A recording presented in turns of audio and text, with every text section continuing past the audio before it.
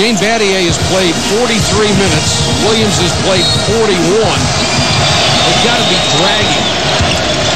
Tired tomorrow. Play as hard as you can tonight. This is all that matters is this moment.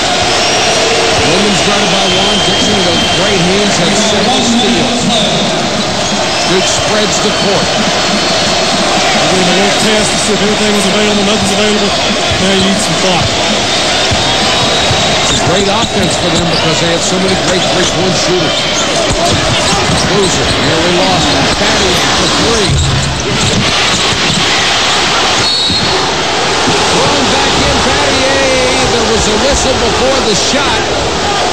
What's the call? Out of bounds, I believe, to Duke. out of bounds to Duke. All right, look. And now there's only 4.9 seconds difference between the shot clock and the game clock. What a tough break.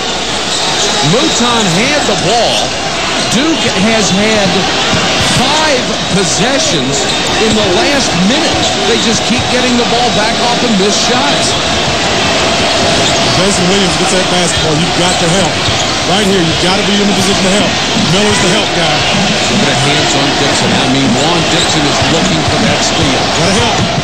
Two things. Deep he is. Into the lane, blocked by Holden. Battier has it. He's fouled. What to stop that young man from turning that corner. I know it's hard. Boy, Duke has played just an unbelievable basketball game in the last five minutes. There he is again, turning the corner. That's what he does best. Good block. Lonny Baxter wasn't ready to step in. He's got to get in front of that. Tahj Holden with a brilliant block. Duke has had the ball. This will be staggering. For the last minute and 28 seconds, they have had the ball. It's a little tough to score when you can't get your hands on it. I gotta think of something else to say because I keep saying that's incredible. Well, that is it has been. This has just been staggering on so many levels. wow. Battier can make it a three-point game with 16.4 seconds left. A three would win it for Maryland. Here we go. Dixon. Dixon into the lane. Oh, Battier blocks it. Unbelievable. Williams with the ball. Wow. It's the most remarkable Wow. comeback I have ever seen. Unbelievable. Maryland gets the last 10 points in 54 seconds of regulation, and then they win it stunningly in overtime. I don't know what else to say, oh, partner. That's That's incredible. That is incredible.